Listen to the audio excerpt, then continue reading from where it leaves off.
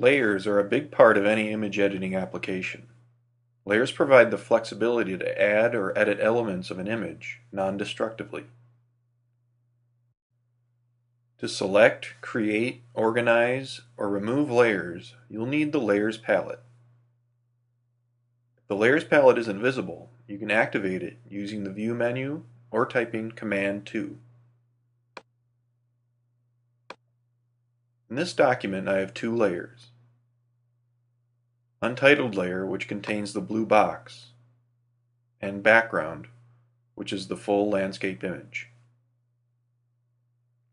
The layer that's currently active is highlighted in blue. If I have the untitled layer activated, when I use the Move tool, only the box will be moved. And if I use the Brush tool, it will paint on this layer.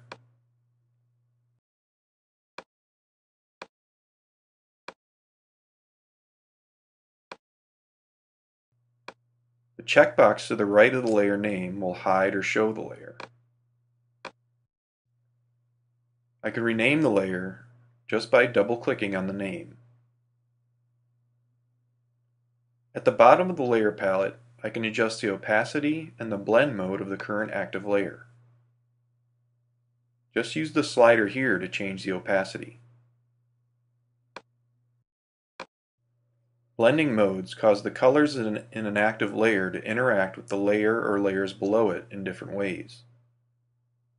If I switch the blending for the blue box layer to multiply, it becomes somewhat transparent and the blue will blend differently with the colors in the background layer.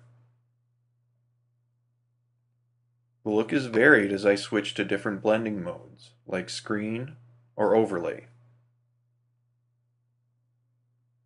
Blending modes can be used to adjust or enhance the colors in a photo. I'll hide the blue box layer, then duplicate the background layer and name it Blend.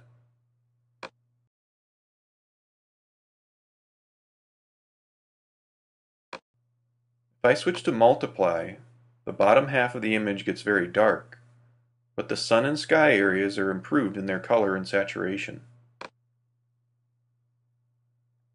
Changing to overlay has a somewhat similar effect.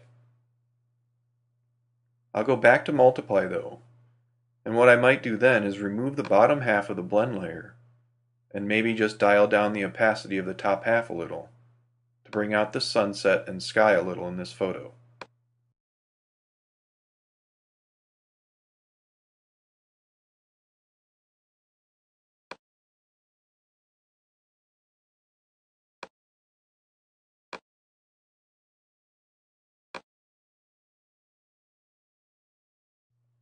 The plus and minus buttons at the bottom of the layer palette will add or remove layers.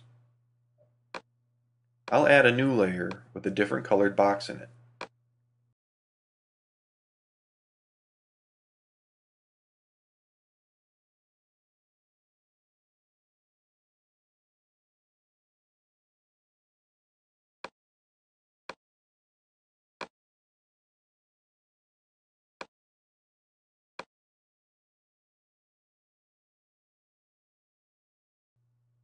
To the right of the Add and Remove Layer buttons is an Action menu, which contains several different layer commands and options, most of which we will cover in the Layer menu lesson.